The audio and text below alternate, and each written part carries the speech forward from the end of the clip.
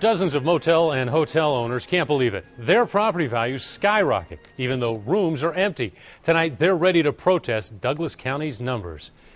Good evening. I'm Rob McCartney. And I'm Brandy Peterson. Owners will take their fight to the Douglas County Board in the morning. Now, one owner we spoke with now has to pay nearly double. In tonight's big story, I-Team investigator Carol Kloss talks to owners worried they'll go out of business, and she gets answers from Douglas County. Mahesh Patel has owned the Satellite Motel at 60th and L for more than 20 years, and never has he seen business this bad. That's why he was shocked when his motel's assessed value jumped more than 80%. I have no idea how they did, uh, and especially like 82% is way too high, you know. The Satellite Motel isn't alone. The I team has identified dozens of hotels and motels in Douglas County that increased in value by more than 20% this year. A few have more than doubled, like the Howard Johnsons at 72nd and Grover, up 109%. The Comfort Inn at 87th and Dodge, up 121%. The Best Western Kelly Inn here at 108th and L nearly tripled in value.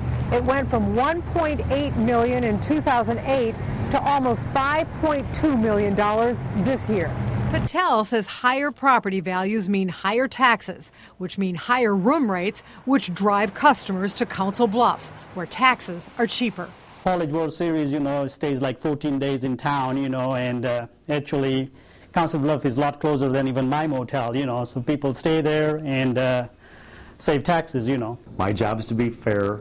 My job is to reflect the market as of January 1st. Douglas County Assessor Roger Morrissey and Chief Deputy Barry Couch say hotel values are sometimes hard to assess because owners don't want to share their profit and loss statements with the assessor. I understand, you know, leery about showing their income but that's what's going to reflect what is it worth? How much is it generating? Mahesh Patel says he's happy to share his business records if it means property tax relief.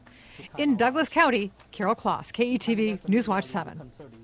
Now, Patel is one of many hotel motel owners who are expected to show up at tomorrow morning's Douglas County Board meeting. Their main concern, besides property values, is why their private business records must become public when they protest.